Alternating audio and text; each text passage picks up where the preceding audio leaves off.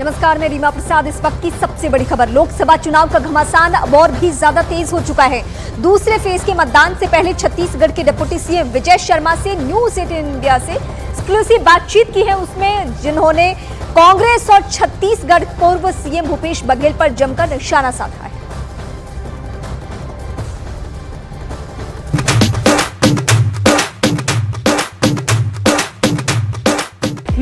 रायपुर की सड़कों पर निकली हूँ। रायपुर का चुनावी मिजाज जानने डेप्यूटी सीएम विजय शर्मा हमें मिले। तो हमने कहा कि इतने फायर ब्रांड नेता को हम इंटरव्यू घर बैठकर तो नहीं करेंगे। विजय जी आपका ऐसी छवि आपकी है।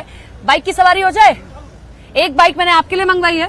और एक बाइक मेरी सर। जी, ज़रूर। तो आज ज़रूर। बाइक पर सवारी। एकदम। सूबे के गृह मंत्री और डेप्यूटी सीएम बहुत कम दिखते हैं सड़कों पर बाइक पर। कब चलाई थी लास्ट मैं, दो तीन दिन पहले टीवीएस पर घूम रहा था।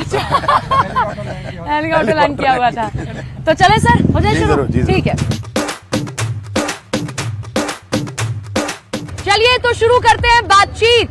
छत्तीसगढ़ के डेप्यूटी सीएम और सूबे के गृह मंत्री विजय शर्मा जी के साथ में मैं आपसे इसलिए बातचीत करना चाहती थी क्योंकि छत्तीसगढ़ के सभी लोग कम बोलते हैं लेकिन एक आप हैं जो बड़ा फायर ब्रांड होके सारी चीज़ों को बोलते हैं हिंदुत्व का फ़ायदा उठाना या हिंदुत्व के लिए ही जीना मरना हिंदू तनमन हिंदू जीवन रग रग हिंदू मेरा परिचय हाँ हिंदुत्व से कोई भाजपा को फ़ायदा है ऐसी हाँ। वाली बात नहीं है हाँ। आपको ध्यान होगा जिस समय बाबरी मस्जिद का ढांचा ध्वंस हुआ था हम्म। उस समय मध्य प्रदेश छत्तीस राजस्थान उत्तर प्रदेश ऐसे अनेक राज्यों में हाँ। भाजपा की सरकारें बर्खास्त कर दी गई थी। अच्छा। छह महीने में चुनाव हुआ कहीं दोबारा भाजपा आई नहीं। लेकिन आपको हिंदुत्व जेल जाने का कहीं फ़ायदा फ़ायदा तो नहीं मिला? तो आपको सूबे का गृह मंत्री बनाया गया और सूबे में डेप्यूटी सीएम बनाया गया?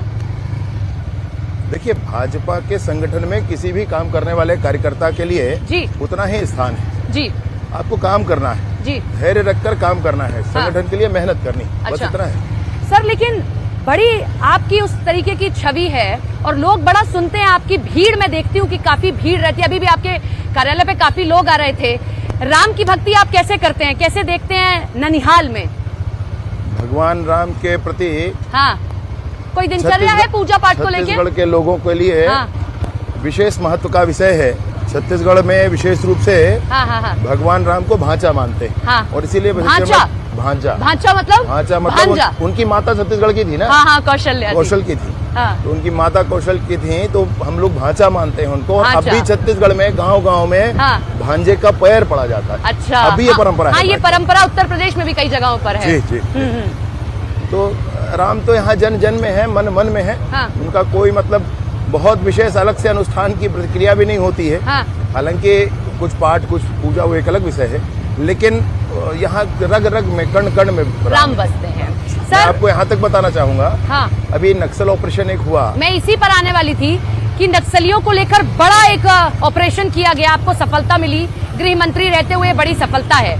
लेकिन कांग्रेस क्यों कह रही है? डाउट क्यों है कांग्रेस को कि आप लोग ये फर्जी एनकाउंटर कर रहे हैं? ठीक चुनावों से पहले वोट बटोरने के लिए बक्सर मुझे एक बात बताएँ। हम्म, भूपेश बघेल जी सूबे के मुख्यमंत्री रहे हैं हाँ। उनको क्या ऐसा करना चाहिए? हम्म। उन्होंने कहा कि जो 29 लोग उनतीस नक्सली मारे गए हैं वो फर्जी एनकाउंटर था। हम्म, नक्सलियों ने खुद पर्चा जारी करके प्रेस नोट जारी करके ये कहा है हम्म, कि हमारे उनतीस साथी शहीद हुए अच्छा। नक्सलियों ने कहा है। जब नक्सली स्वीकार कर रहे हैं कि नक्सली मारे गए वो तो वो कह रहे हैं तो दबाव आप लोग इतना डाल देते हैं उन पर तो उनको सब स्वीकार करना पड़ता है। बेचारे भोले भाले आदिवासी किन पर? किन पर? नक्सलियों पर दबाव? आदिवासियों पर।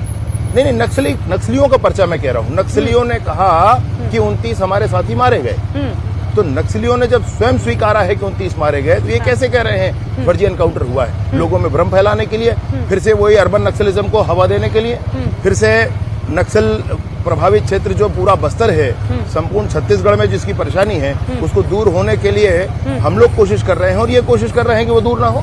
ये कोशिश कर रहे हैं कि फिर भी वो बना रहे।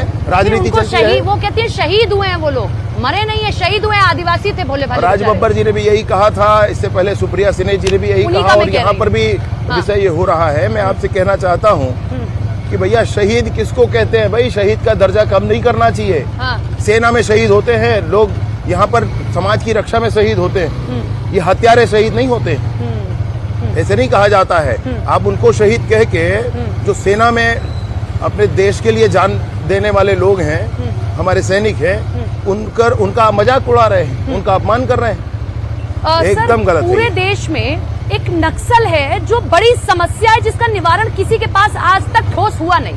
आप गृह मंत्री बने अमित शाह जी से डायरेक्ट आपकी बातचीत जब होती होगी नक्सलवाद को लेकर बीजेपी की क्या रणनीति है? खत्म होगा तो कैसे होगा? नक्सलवाद में जितने लोग सक्रियता से अभी काम कर रहे हैं उनमें पंचानवे प्रतिशत से अधिक लोग हाँ। मजबूरी में हैं अच्छा। जिनको बंदूक के दम पर ला करके साथ लिया गया हाँ। बाद में उनके साथ हाथ से कोई प्रकरण हुए हाँ। तो पुलिस में केस पंजीबद्ध है वो चाहते हैं कि इन सब चीज़ों से मुक्ति हो बातचीत होती है नक्सलियों से आपकी मैंने ऑफ़र कर रखा है शुरू दिन से ही माननीय मुख्यमंत्री जी हमारे विष्णुदेव साय जी हाँ। ने भी ऑफ़र कर रखा है जब हाँ। चाहे बात करें अच्छा। बातचीत के रास्ते से इस बात का निर्णय करें हाँ कि मुख्य धारा में कैसे आ सकते हैं? हाँ। मुख्य धारा में आने में उनको क्या दिक्कत है? हाँ। वो हर हाल में मुख्य धारा में पहुँचे वो आना चाहते हैं। मैं कह रहा हूँ पंचानवे प्रतिशत से अधिक आना चाहते हैं। पंचानवे प्रतिशत से अधिक। आना चाहते हैं। हाँ, हाँ। लेकिन किसी कारण से वो रुक जाते हैं डर के मारे। उनको बंदूक के नोक पर। नोक पर ले जाया गया। हम्म, उसके बाद फिर जो कुछ हुआ हो उनके साथ हाँ। कुछ घटना में वो सामने शामिल हो गए। अच्छा। अब पुलिस में केस दर्ज है। हाँ। अब वो नहीं आ पा रहे हैं पुलिस के पास वो नहीं जा पा रहे हैं वहाँ। अच्छा। ये दोनों ही स्थितियों में फंसे हुए हैं। हाँ। इसीलिए अच्छे पुनर्वास नीति की ज़रूरत है जिस पर काम चल रहा है जल्द ही वो सामने आपके एक करीबी ने मुझे बताया कि आप गृह मंत्री के बनने के बाद उस बैरक में भी गए जहाँ पर आपको रहना पड़ा था। क्या महसूस हुआ कि ज़बरदस्ती मुझे यहाँ डाला गया और आज मैं गृह मंत्री बना हूँ मुझे वो पावर मिली है तो मैं कैसे इन सब लूप होल्स को ठीक करूँगा? क्या फीलिंग थी वो? फर्जी एफआईआर करके हम्म, जेल में डाला गया था। हाँ। और जब कितने जेल दिन में रहना पड़ा था सर? लगभग महीना भर। महीना भर। और कैसा अ, मतलब उस तरीके का वो व्यवहार हो रहा था आपके साथ वहाँ पर? बहुत गलत व्यवहार था। अच्छा। बहुत गलत व्यवहार जैसा। मैंने क्या तो कोर्ट में हलफनामा दिया था कि मेरा एनकाउंटर किया जा सकता है मुझे प्रोटेक्शन यहाँ ये कहा गया। किसी बड़े नेता का नाम आया? अब वो स्थानीय वहाँ पर जो विधायक थे उन्हीं का विषय था सब कुछ। उनको विरोध सहन क्या ऊपर से उनको बोला जा रहा था बघेल जी की ओर से या किसी की ओर से? आप बार बार कहते रहे क्योंकि ये आप कहते हैं कि उन्हीं की सब रणनीति थी उन्हीं के द्वारा प्लान किया जा रहा था। देखिए मुखिया के ऊपर तो बात आती ही है अंततः हाँ। हम्म, तो भूपेश बघेल मुखिया थे और हमारे यहाँ विधायक यहाँ से कबरदास जाकर के एक लड़े थे मोहम्मद अकबर वो थे। हम्म, उन्होंने बार बार वही किया फर्जी एफआईआर लोगों को डराना धमकाना सब कुछ यही करते रहे। अच्छा। तो मेरे साथ भी वो हुआ था परंतु जेल में रह करके एक बात समझ में आई ज़रूर। हम्म, कि वहाँ पर समय काटना बहुत मुश्किल होता है। हम्म, और समय काटना मुश्किल होता है हम्म, तो हम्म, समय का।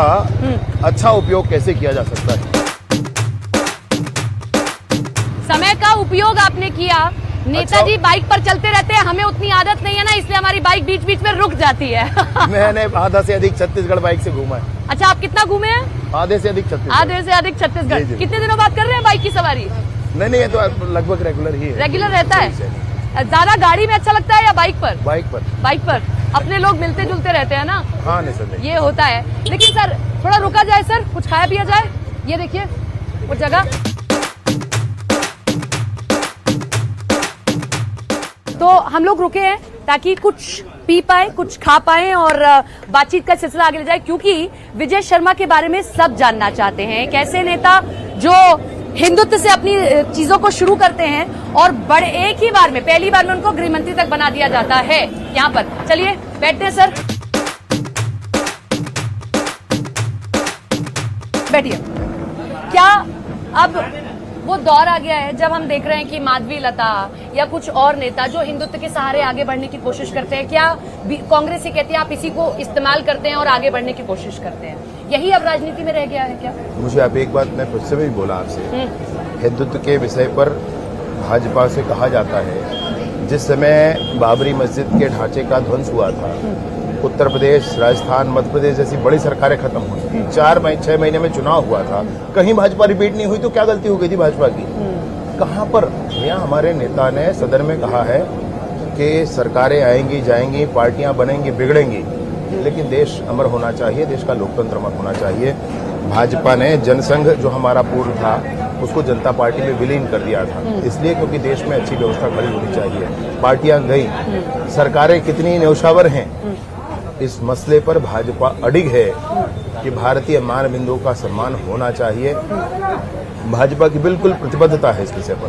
वो कोई संशय नहीं। एक चीज़ मुझे भी कोई बता रहा था कि आप आज भी ज़मीन पर बैठते हैं और अगर कोई अपना मिल जाए तो ज़मीन पर बैठकर ही बातचीत होते हैं। वो जुड़ाव महसूस होता है ज़मीन पर बैठना उन लोगों के साथ में रहना? जैसे रहे हैं वैसा रहना चाहिए।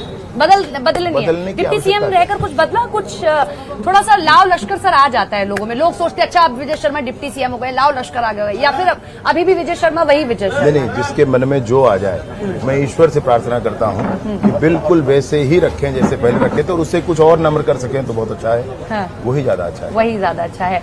जब डिप्टी सीएम का ऐलान हुआ तो हमने देखा की एक ओबीसी चेहरा लिया गया एक ब्राह्मण चेहरा लिया गया। तो जो छत्तीसगढ़ का ब्राह्मण है वो किस ओर जाता दिखाई दे रहा है। अभी आपने देखा कि एक ओबीसी लिया गया एक ब्राह्मण लिया गया। हाँ। मैंने देखा कि हमारे राष्ट्रीय प्रदेश अध्यक्ष थे उनको बनाया गया। हाँ। और मैंने भी खूब मेहनत की थी उनके साथ बहुत सालों से तो मुझे बनाया गया। हाँ। ये इतना ही मामला है। इतना ही मामला है। तो विजय शर्मा हमारे साथ हैं। हम इनके साथ में बातचीत कर रहे हैं। और जो मैं अब तक समझ पाई वो यही कि डिप्टी सीएम आज भी लोगों तक अपनी कनेक्टिविटी बनाने की कोशिश करते हैं। बहुत बहुत शुक्रिया। आपने हमें समय दिया।